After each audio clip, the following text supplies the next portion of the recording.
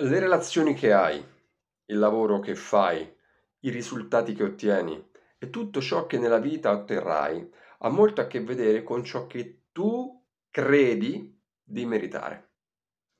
Pertanto, se in quanto essere umano credessi di valere, non accetteresti che un compagno, un amico, un guru, un politico si prenda gioco di te.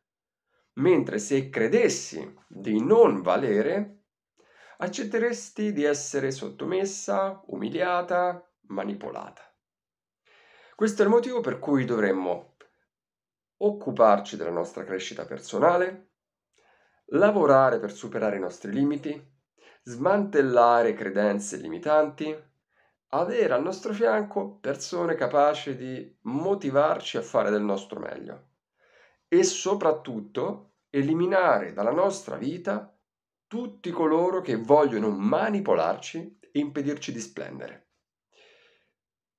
Per darti un'idea di come una credenza, quindi di ciò che noi crediamo, possa entrare nella nostra vita ed impedirci di splendere, ho pensato di raccontarti una breve storia scritta da Jorge Bucay.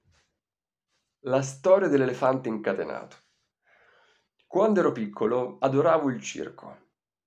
Ero attratto in particolar modo dall'elefante, che, come scoprì in seguito, era l'animale preferito di tanti tanti altri bambini. E durante lo spettacolo, questo animale faceva sfoggio di un peso, dimostrazione di forza, qualcosa fuori dal comune. Ma dopo il suo numero e fino ad un momento prima di entrare in scena l'elefante era sempre legato ad un paletto con una catena. Quindi un piccolo paletto conficcato al suolo che legava con una catena la sua zampa. Eppure io guardandolo dicevo, ma questo paletto è minuscolo. Ok, un pezzettino di legno piantato nel terreno, per qualche centimetro. E se anche la catena poteva essere un po' più grande, cioè mi sembrava ovvio che un animale come l'elefante no, potesse liberarsi in qualsiasi momento. Quindi la domanda era, cosa lo tiene legato? E chiesi un po' in giro, chiesi un po' in giro a tutte le persone, cercando di avere una risposta, qualcuno che mi dicesse e mi risolvesse questo problema. E qualcuno mi disse, guarda, eh, l'elefante non scappa perché è un elefante ammaestrato. Ed allora mi domandavo, ok, ma se è ammaestrato, perché lo incatenano? E a questa domanda non ho mai ricevuto risposta. Con il passare degli anni mi sono dimenticato di questo mistero, il mistero dell'elefante. E qualche anno fa ho scoperto che qualcuno era stato così saggio da trovare la risposta.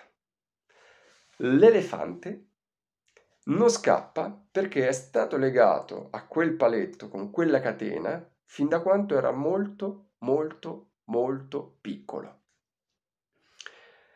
Così io chiusi gli occhi, mi immaginai quell'elefantino indifeso appena nato, legato ad un paletto, che provava a scappare, no? a tirare, a far forza, e cercava di liberarsi ma nonostante tutti i tentativi non ci riusciva perché quel paletto per quel periodo della sua vita era troppo saldo, troppo forte, troppo resistente per lui. E quindi dopo svariati tentativi, un giorno aveva rinunciato. Aveva accettato di essere impotente, di non poter fare niente per risolvere quel, per scappare, per liberarsi da quel paletto. L'elefante è enorme, è possente, questi elefanti che vedevamo nel circo quando eravamo bambini.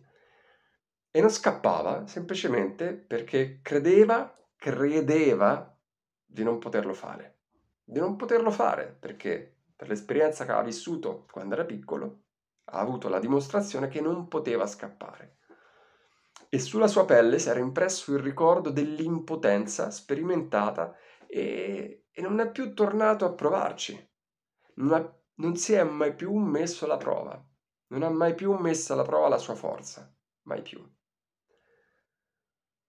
Questo per dirvi che noi siamo ciò che crediamo.